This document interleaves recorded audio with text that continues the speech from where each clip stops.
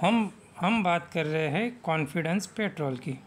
आज के दिन की बात करें तो स्टॉक में हमको एक परसेंट तक के अपसाइड के साथ क्लोजिंग देखने के लिए मिली है।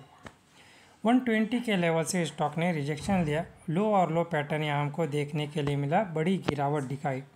स्टॉक ने सपोर्ट कहाँ लिया? 84 के लेवल पर इससे पहले गिरावट के साथ जिस लेवल पर स्टॉक ने सपोर्ट लिया था 84 के लेवल पर उसी लेवल पर स्टॉक ने सपोर्ट लेकर बाउंस बैक किया। एक जंप आया अगेन गिरावट आई। जब दोबारा गिरावट आई तो क्या आपने इस सपोर्ट लेवल को स्टॉक नीचे की ओर ब्रेक डाउन कर पाया?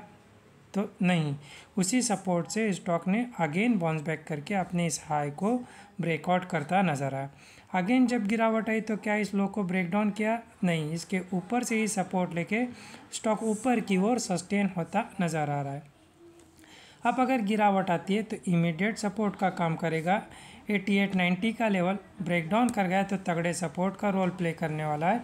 जहाँ से स्टॉक हमको मल्टीपल टाइम सपोर्ट लेता नज़र आ रहा है। इससे पहले भी सपोर्ट लिया था और हमको 120 तक के टारगेट दिखाए थे 84 के ही लेवल पर।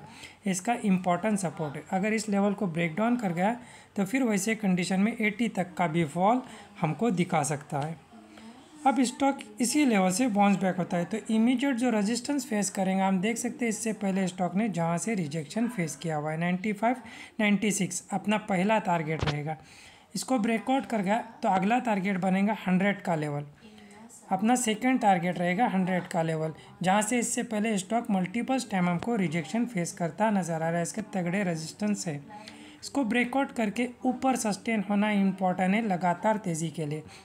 अगर कॉन्फिडेंस पेट्रोल इसको ब्रेकआउट करके हंड्रेड के लेवल को ब्रेकआउट करके सस्टेन हो जाता है तो फिर बड़ी तेज़ी, बड़ा जंप हमको यहाँ से देखने के लिए मिल सकता है। और जिस तरह से हमको स्टॉक सस्टेन होता नज़र आ रहा है, उस अकॉर्डिंग हंड्रेड का लेवल ब्रेकआउट करता नज़र आ सकता है। हंड्रेड के ब्रेकआउट के बाद अगला टारगेट वन वन ज़ीरो और अगेन वन ट्वेंटी तक के टारगेट फिर कॉन्फिडेंस पेट्रोल हमको शॉर्ट टर्म में दिखा सकता है। वीडियो अगर आप डिमेट अकाउंट ओपन करना चाहते हो तो डिस्क्रिप्शन में दी गई लिंक से कर सकते हो। एजुकेशन पर्पज़ के लिए कोई बाय सेल या होल्ड की सलाह नहीं है।